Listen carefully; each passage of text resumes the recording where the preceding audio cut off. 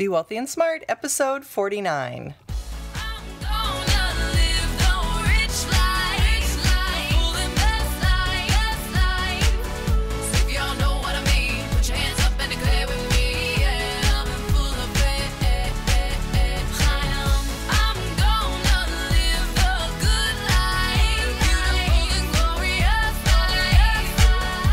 Into a world of wealth and financial freedom without budgets, boredom, or bosses on Be Wealthy and Smart.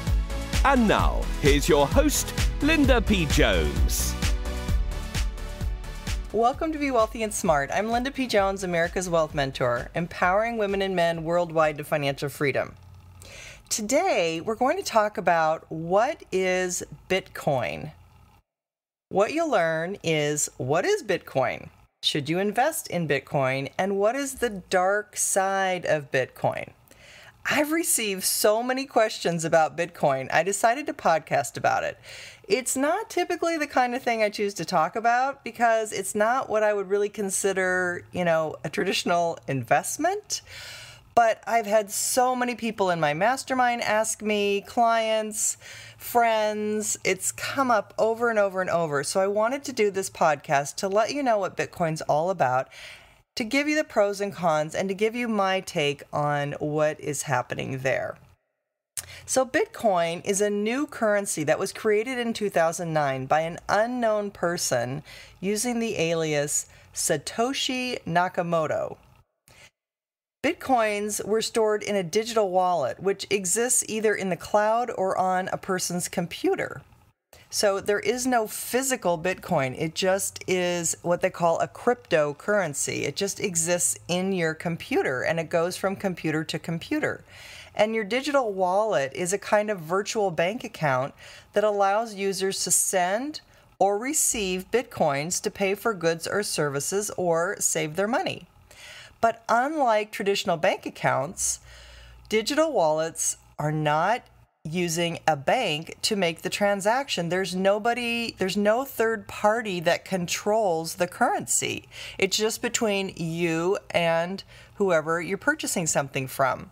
And so, of course, it's not insured by the FDIC. The government has absolutely nothing to do with this. So, because there are no banks, there's no transaction fees, there's no need to even give your real name or any name at all. And it's interesting because more merchants are beginning to accept them. You can buy things like web hosting, services, pizza, even manicures. People could send bitcoins to each other using mobile apps or their computers, and it's similar to sending cash digitally. Your wallet is in the cloud, but because of that, you have to be very careful. There have been cases where servers have been hacked, and people have lost all of their money in their Bitcoin because their computers were hacked. And they also have lost their Bitcoin if their computer's stolen because it's being stored in your computer. So that means that's your little bank. If someone steals your hard drive or steals your computer, that's it. They take your money. So you have to be very, very careful about that. You can also accidentally delete them, and viruses can destroy them. So it's really crazy. And even some companies have fled with clients' bitcoins. It's, you know, it's been full of treachery for sure. The interesting thing is, bitcoins can be used to buy merchandise anonymously. In addition, international payments are easy and cheap because bitcoins are not tied to any country or subject to regulation. Small businesses may like them because there are no credit card fees. And some people just buy bitcoins as an investment, hoping that they'll go up in value because they have fluctuated all over the place in terms of their value you do buy them on an exchange, and there are several marketplaces called Bitcoin exchanges that allowed people to buy or sell Bitcoins using different currencies. The largest one was in Japan, and it was called Mount Gox, G O X. That was the largest Bitcoin exchange. It launched in July 2010 and by 2013 was handling 70% of all Bitcoin transactions at Mt. Gox. But in order to buy bitcoins, you have to go to a Bitcoin exchange, a place where you wire funds from traditional currencies and they dispense bitcoins in return, kind of like going to the bank. The largest and oldest was Mt. Gox, but now they've had some real problems. Um, they had a security problem, and some of the bitcoins, the rumors said, might have gone missing due to a vulnerability in their code. When Mt. Gox finally came clean to the public, it turned out that 750,000 of its customers' bitcoins and 100,000 of their own had been stolen. That's about $510 million worth of money of US dollars missing. Or to put it another way, about 7% of the entire Bitcoin money supply disappeared all at once, and Mt. Gox filed for bankruptcy. In February 2014, Mt. Gox suspended trading, closed its website and exchange service, and fled for the form of bankruptcy protection from creditors. And in April 2014, it began liquidation proceedings and announced it had about 850,000 bitcoins belonging to customers and the company that the company said were missing and likely stolen and an amount valued at more than 450 million dollars at that time. So although 200,000 bitcoins have since been found, the reason for the di- disappearance, theft, fraud, mismanagement or a combination of all are unclear as of March 2014 according to Wikipedia, but some of the speculation of hackers being responsible for the bitcoins, but there's been nothing proven. So they think that people just hacked into Mt. Gox, and this is one of the vulnerabilities of investing in Bitcoin. So the Japanese bankruptcy trustee handling Mt. Gox says there's a six months extension for creditors to register claims, and they're doing a formal investigation. But uh, it's it's crazy, and they're it looks like you know other exchanges have stepped up. You can now go to a place called Coinbase. C O I N B A S E dot com or blockchain, B L O C K C H A I N dot com to buy them. coinbase dot com or blockchain dot com And you can do buy you can buy your bitcoins there. You can also buy fractions of a bitcoin. As of today, the current price of a bitcoin is $521.41, but it does change. And so you can buy fractions of that. If you only needed $100, you could buy roughly 20, a little over 20%, and buy $100 worth of bitcoins, for example. To do that, you use your bank routing ID number and an account number. No credit cards are allowed. Though each Bitcoin transaction is recorded in a public log, names of buyers and sellers are never revealed, only their wallet IDs. While that keeps Bitcoin's users' transactions private, it also lets them buy or sell anything without easily tracing it back to them.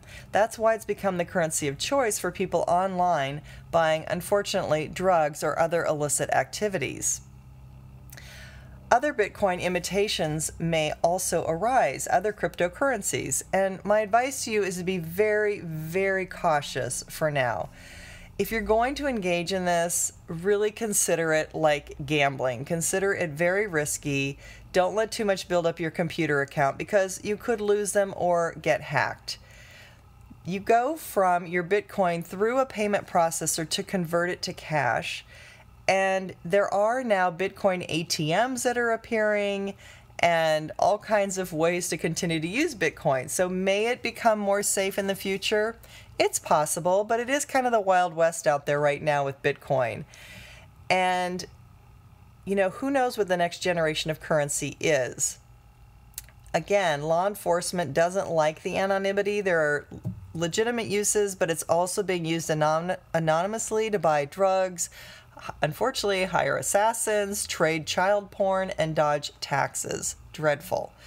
So, digital currency is coming, though, and that's something that the government is wanting to be the next big trend so they can tax people. They want digital currency so they can actually keep track of every every transaction that you make for tax purposes. Whereas with cash right now, you have anonymity too. Just like with Bitcoin, if you pay with cash, you go and you buy something, you pay cash. That person doesn't know who you are, doesn't have any way to identify you. So Bitcoin, in that way, is sort of like using cash but the government is just watching what's going on and they are wanting to go to digital currency.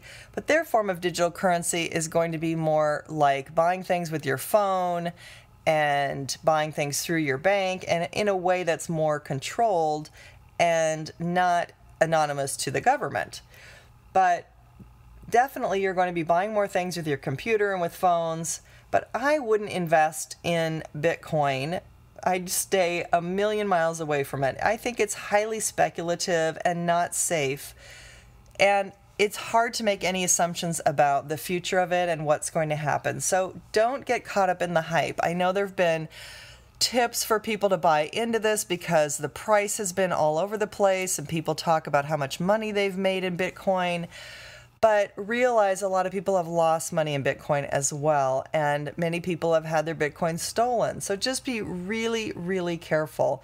If you insist on investing, limit your investment to a speculative amount as if you were going to a casino. And I would take your profits regularly and take money out of this. This is not an investment, consider it a gamble. So, what you learned today is what is Bitcoin? what's happened to it, and what is the dark side of Bitcoin.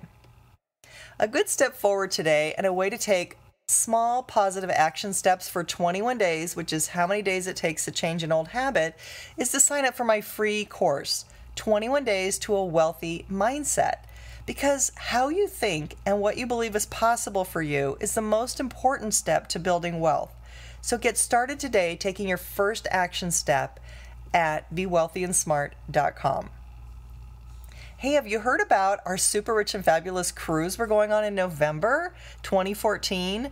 For people who don't want to run out of money in retirement or have a business and would like the opportunity to be on an international cruise ship and be a speaker and also have an awesome time we're going to relax some. We're going to talk about money and investing and finance. We're going to talk about business and generating an income online, where to grow more wealth, best ways to generate income, where billionaires are planning to make their next fortunes, and you can too. And we're all going to do this together on this amazing ship, an amazing ship. All the details are at lindapjones.com forward slash cruise. C R U I S E. It's an amazing value. We're going to the Caribbean. We're leaving from Miami, going to San Juan, St. Thomas, St. Martin, and back the first week in November 2014, and we are going to have such an amazing time. I did the same cruise last year. We had so much fun. We're doing it again. So, again, go to lindapjones.com forward slash cruise or bewealthyandsmart.com forward slash cruise. It gets you to the same place great information there. All the pricing is there. It's a great value. We're going to have so much fun. Come with us. Until next time, live the good life and be wealthy and smart. Thank you for listening to Be Wealthy and Smart with Linda P. Jones. Share the wealth and tell your family and friends about the show. Check out our website, blog, and social media for more riches at www.bewealthyandsmart.com.